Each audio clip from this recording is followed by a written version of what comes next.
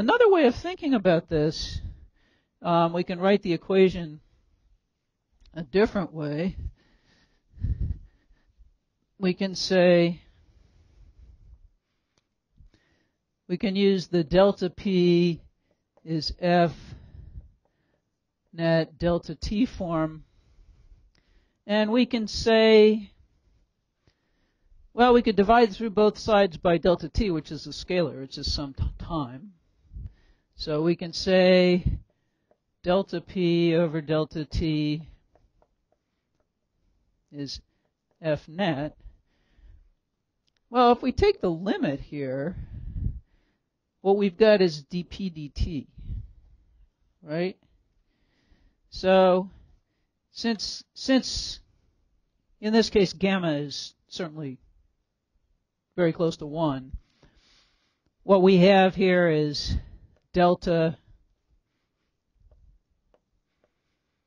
mv delta t is f net or since the mass isn't changing, we have to be a little careful, but in this case it's certainly not.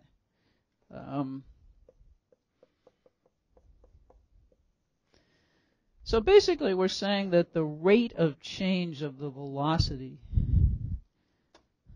is equal to the net force. So if we take if we take the limit as delta t goes to zero of delta v over delta t, we get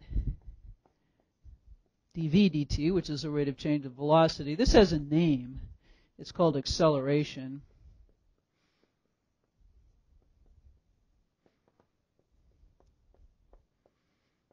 And it's sometimes written as an a vector.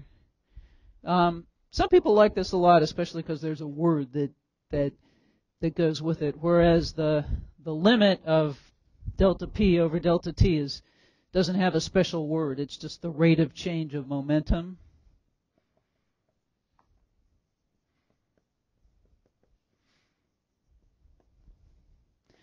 I, I actually like this better partly because it's more primal. That's what get changed by a net force, but but partly because this is a word that has all these everyday meanings too, and so sometimes we always think of speeding up when we talk about acceleration, and in fact, since it's the rate of change of a vector, it could be slowing down, it could be turning, and whatnot. So, so there's confounds, whereas it's it's actually so. If the momentum, so so we can make a graph. Let's just talk about p sub x here. So here's p sub x is a function of t so we're saying dp dt is f net. So the book was traveling with constant momentum in the x direction, which means that a graph of p sub x versus time would look like that. Well, the slope of this graph is the net force in the x, f net x, so that the slope is f net x. So the slope is zero. That says f net x is going to be zero. What would happen if f net x wasn't zero? Suppose it was constant. Then we'd have, for example, something like that. Net force would mean the momentum, constant net force in the x direction would mean the momentum keep increasing. So we need to keep practice think, keep practicing thinking this way. Um, it's not natural yet, but it, it will become natural. Comments or questions about this? So the answer to the question was, just to be clear,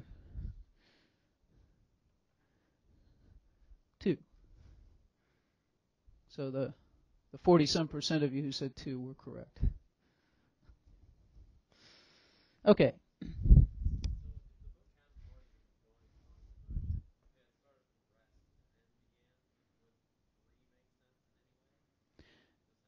Yeah, yeah, and I, I was trying to talk about that when I talked about the transient.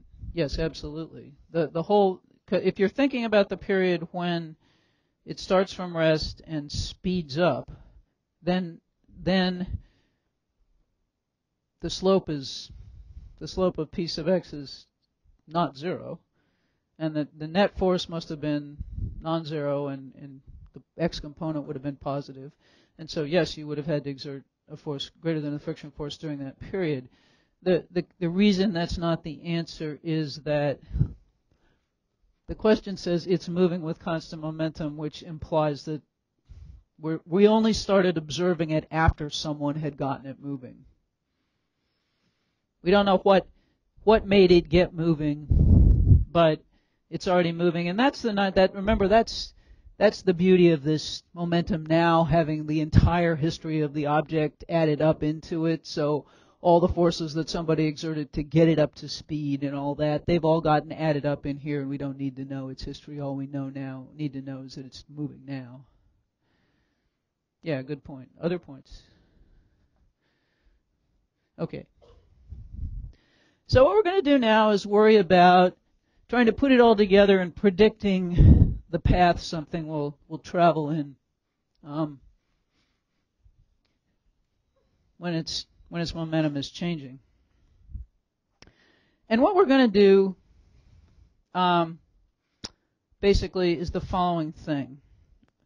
Um, Remember that we also alluded to the fact that, that if the net force is constant,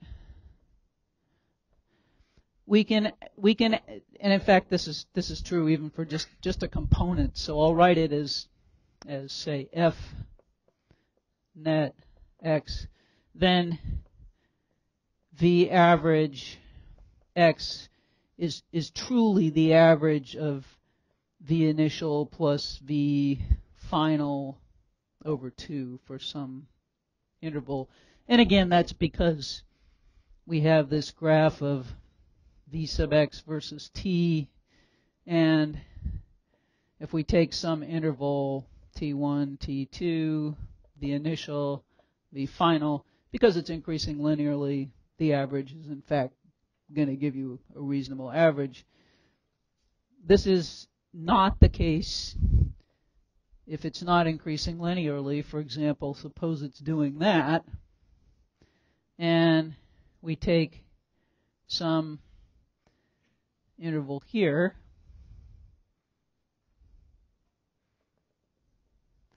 Okay, the the middle here is actually not a particularly good estimate of the the average velocity in the x direction, it's going to be too low because it spent more of its time going faster than that.